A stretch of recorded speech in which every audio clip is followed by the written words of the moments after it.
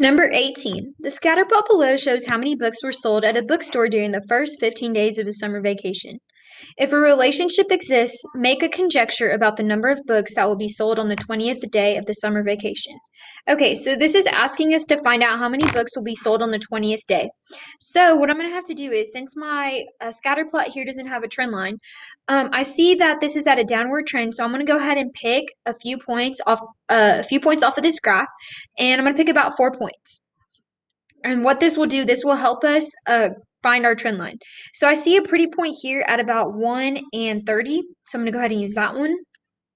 I see another pretty point at 4 and about 28. I see another pretty point at 6 and about 26. And I see another pretty point at 10 and 22. So those are going to be the points I'm going to go ahead and use. So with that being said, we're going to go ahead and open up our calculators. And what we want to do here is we want to go ahead and open up a list in spreadsheets. And once we do this, the first thing we do is we label cell A as X and B as Y. Now that we have done that, we can go ahead and start entering in our X values. We have 1, 4, 6, and 10. Now I'm going to go ahead and enter in my Y values. We have 30, 28, 26, and 22. Now that I've entered those in, I'm going to go ahead and press the on button and I'm going to go to data and statistics.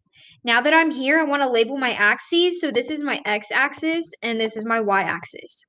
And I want to find our trend line. And the way we do that is we're going to use the command menu four, six, one. If I were you, I would write that on your paper. That way you have it for your test. So we come up with this um, with this equation. So we have y equals negative 0.9x. And then it was plus 31.2. I'm going to round to the 10th place. Okay, and again, I want to find out how many books will be sold on the 20th day.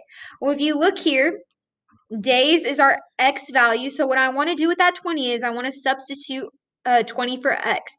So this is negative 0.9 times 20 plus 31.2. So again, I'm going to go back to my calculator. I'm going to press the on button and I'm going to go to the calculator. Ah. Now I'm going to put negative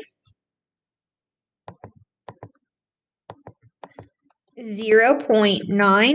I'm going to open up a parentheses, 20. I'm going to close that parentheses and I'm going to add 31.2 to that. And here we get 13.2. Well, if you look at our answer choices, we don't have an answer choice that has a 13.2. So what that means is, um, remember, whenever we chose our points, we were just guesstimating. That doesn't mean that um, those are actually the points. Um, so here we want to choose the answer choice that is closest to the answer we found here. And here we got, uh, I would believe the the closest answer to 13.2 is going to be A, 14 books.